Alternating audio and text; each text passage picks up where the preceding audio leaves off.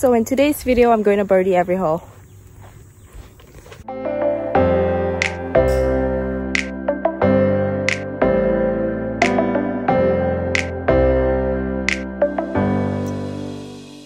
So I'm going to be playing almost 6,700 yards today. So it's about the basic average distance that the LPGA Tour plays, maybe even towards the longer side. So this is going to be a real tournament distance course and I'm just going to see what it takes for me to birdie every single hole.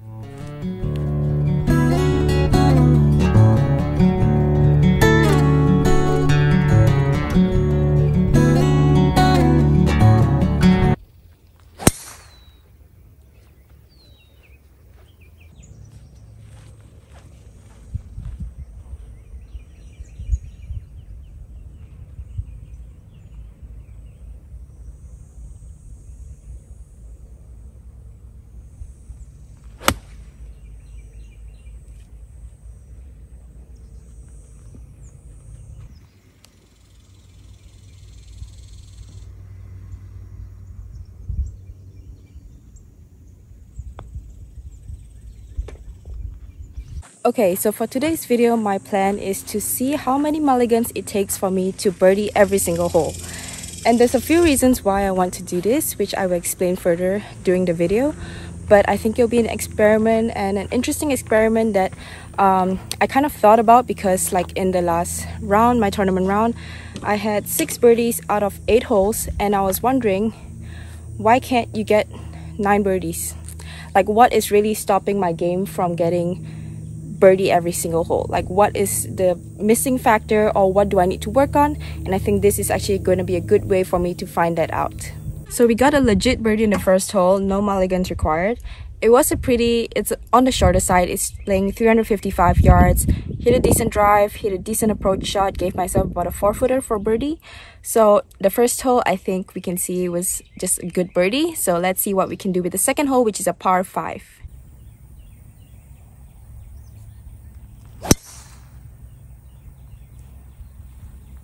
So for my approach shot here, I have 234 yards. It's playing 238.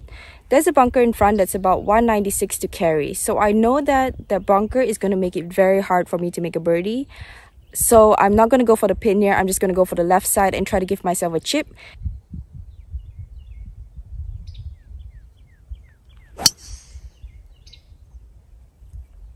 So I hit it more left than I was intending to. I think subconsciously in my head, I was kind of thinking there's nothing on the left side and there is like three bunkers down the right side. So what's the point of really going for it and leaving yourself with like a 40, 50 yard bunker shot that's going to be so difficult to get up and down. Whereas on the left side, there is absolutely nothing. So as you can see here, I'm basically the same line as the green, but as I said, bunkers over there, which is like this one especially, is really in the carry distance which is actually exactly where you need to hit if you wanted to go for that green. So i think this is actually the perfect play for this hole. Unless you have shorter if you have like a shorter distance that you know you can 100% carry that bunker or like you're gonna carry it to the front of the green then i think it's fine. But for me it's just 230 into the wind. Like there was just no chance i was gonna carry that to 220 which is to the front of the green. So left side was the smarter play here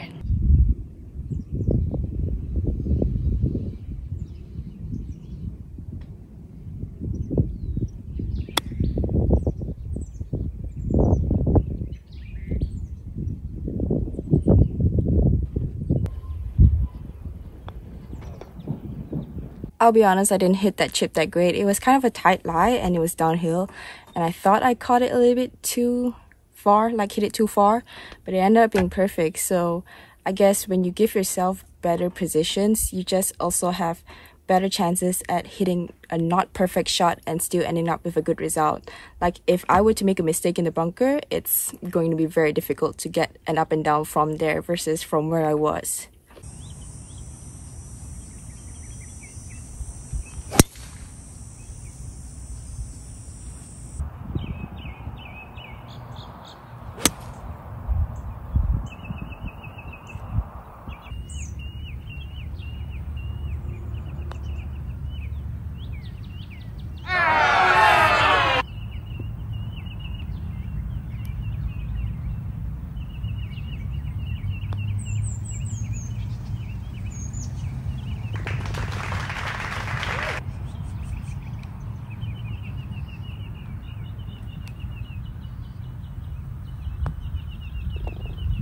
It would have obviously been a lot easier to putt from this side of the pin versus where I was on the right side of the pin so this would have been the better approach area so I didn't hit a bad approach there, it was pin high, it's just the direction was a little bit off.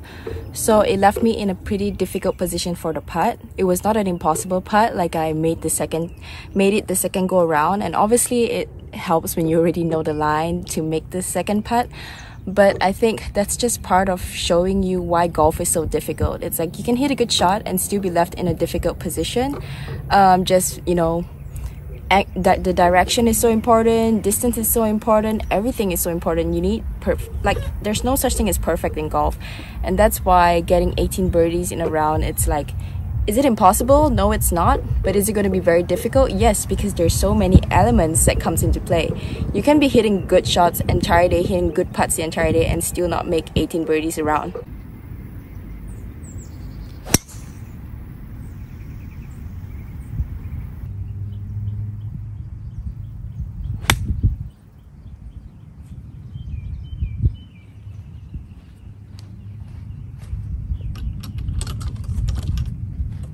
think that should be good.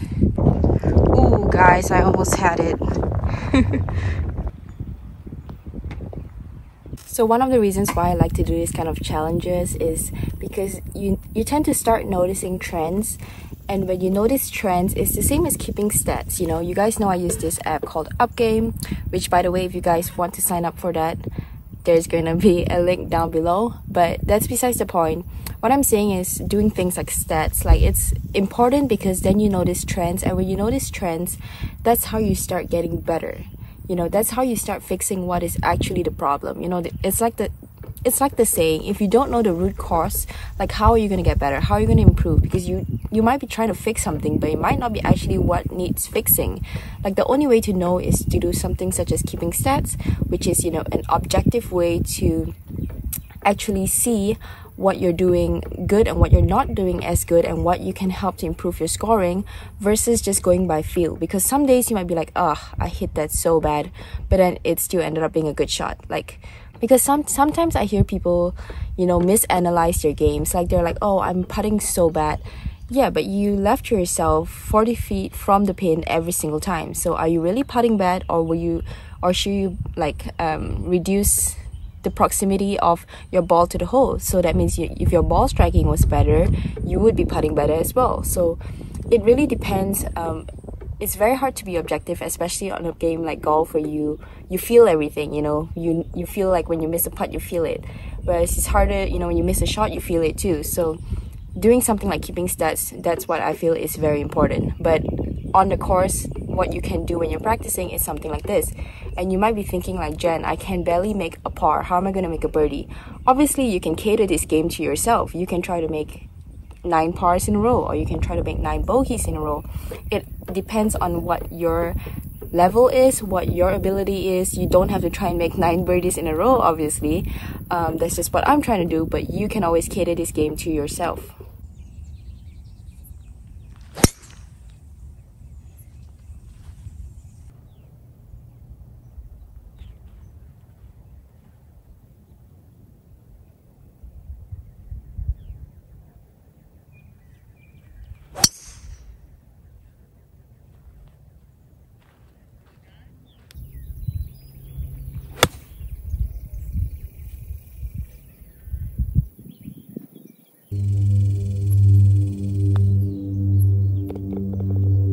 So what's funny is that's four out of five holes like actual birdies without a mulligan. And it kind of makes you think maybe it's not that you have a problem but maybe it's just that sometimes your mindset is that you're out here not to play.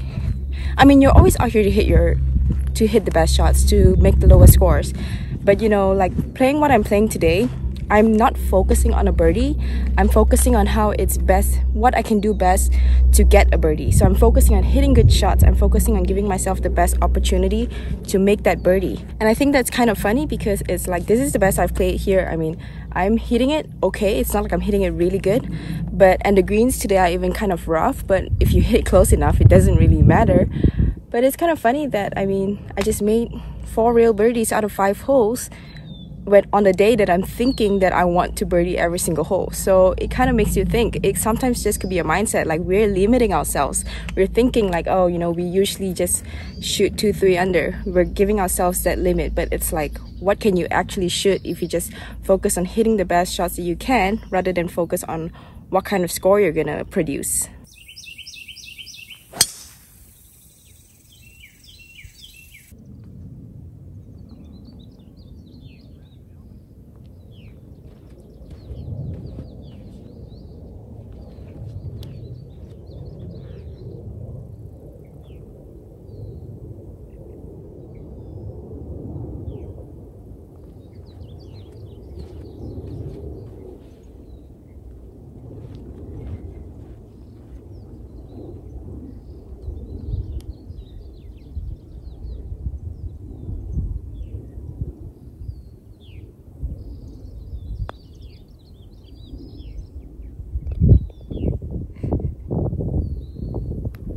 Can't believe I just made that birdie. Like this hole is a 210 yard par 3. For me, I'm happy making par here.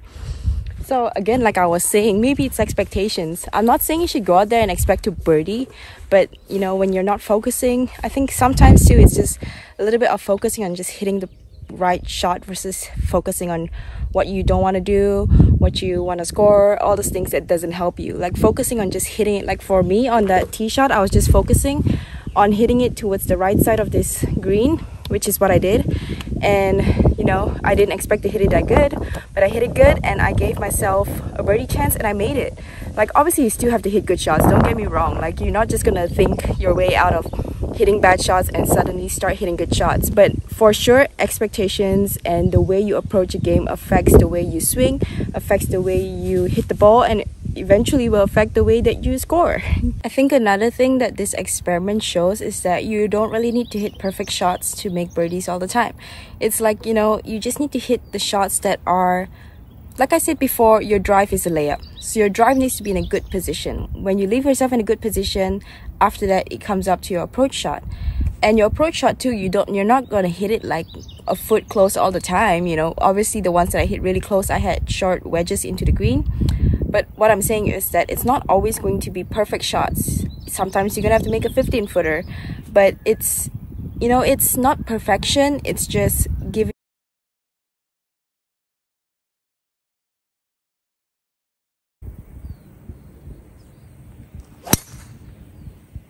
I can already say now if I had a chance to take, take a mulligan on the tee shot, I would have. Because this is one of the holes when you hit down the left side, you just get a ton of kick and you end up hitting a lot further. Like as you can see here I stayed on the right side so I didn't get that bounce. So now I can't I can't see the pin. So it's gonna be a tough second shot but let's see if we can still make a birdie from here.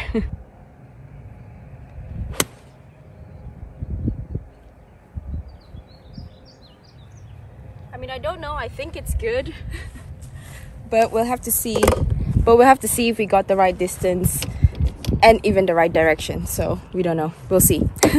wow, guys, I'm on the green and putting for birdie. Oh my goodness, look at that. This is going a lot better than I expected it to. I think I should like do this all the time when I play.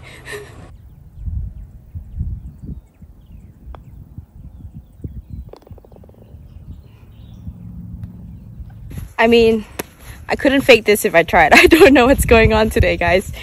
but I'm not complaining. Um, yeah, I don't know. It could just be little expectation. Maybe I'm still coming off the high of playing well the other day. I don't know. I'm not hitting perfect shots, but it's just turning out good. It's going where I want it to. And I guess sometimes it's your day. I don't know. I think the funny thing to ask yourself too is like, why have expectations? Like you never know what's gonna happen with golf. Every day is so different. There's so many elements in golf, like we said. So why would you expect anything other than just going out there and trying to do the best you can and just seeing what happens? I think that's an important lesson too. Just to like the way that you see golf, the way that you play golf, the way that you tackle your golf game. It doesn't mean it's gonna be perfect all the time, but you're just gonna have so much more fun, less expectations, and just enjoying yourself on the golf course more and as a result, you're going to just shoot better scores without having to force it.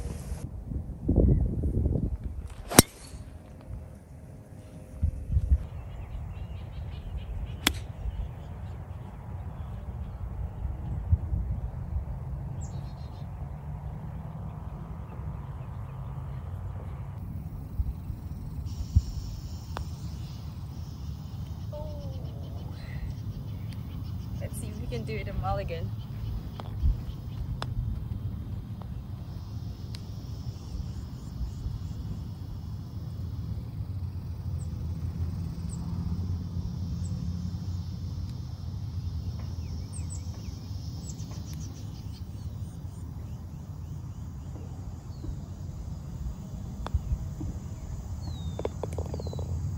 It's alright.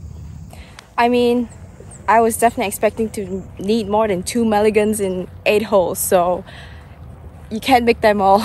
It's alright. At least I made it the second time. so I finally got a new rangefinder. My old rangefinder lasted me from freshman year of college and I can now tell slope. So I can actually tell you how steep this hole is. Oh wow. So the verdict is it's 197 playing 163 yards. So that is very steep downhill.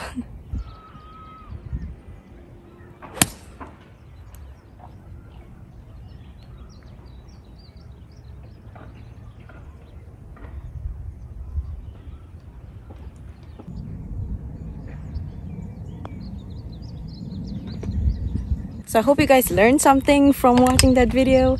If not, I hope you guys just had fun watching me make a bunch of birdies. Um, thanks for watching guys and I'll see you guys next time.